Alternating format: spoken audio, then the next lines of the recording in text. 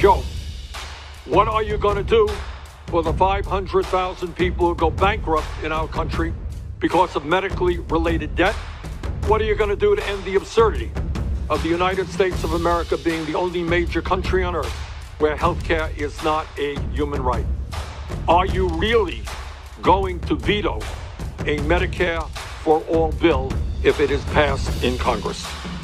Joe, how are you going to respond to the scientists who tell us we have seven or eight years remaining to transform our energy system before irreparable harm takes place to this planet because of the ravages of climate change?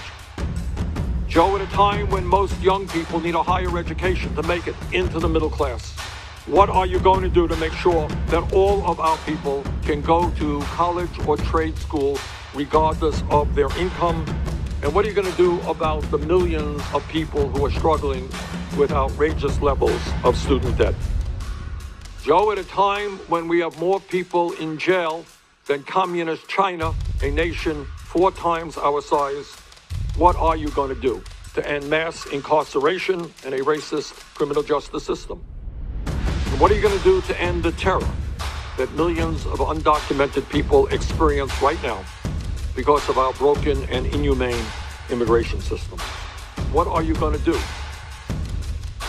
What are you going to do about the fact that we have the highest rate of childhood poverty of almost any major country on earth and are living with the fact that 500,000 people tonight are homeless and 18 million families are spending half of their income to put a roof over their heads.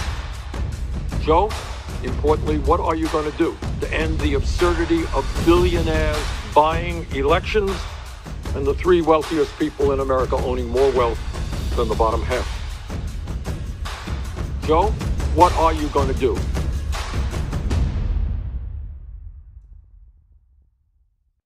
Paid for by People's Action and not authorized by any candidate or candidates committee.